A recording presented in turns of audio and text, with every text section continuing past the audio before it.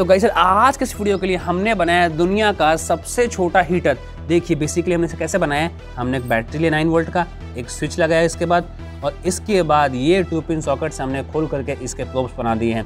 और जैसे हम इसको स्टार्ट करते हैं, वैसे यहाँ से हीट डिसिपेट होता है, और इलेक्ट्रिसिटी जो है बेसिकली वो कन्वर्ट हो जाती है हीट एनर्जी में। देखिए, कुछ इस तरीके से। डाला हमने पानी के अंदर। डालने के बाद हमने लगा दिया इसको, और अब हमने किया स्विच ऑन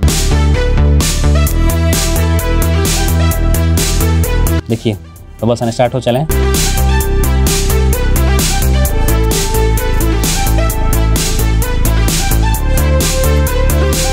देखिए साथियों, बुलबुले तेज होते जा रहे हैं। इसका मतलब यह है कि पानी हमारा गर्म होते जा होते जा रहा है। अब बारी है, मैं इस पानी को छूने वाला हूँ और देखने वाला हूँ आखिर कितना गर्म हुआ, देखिए।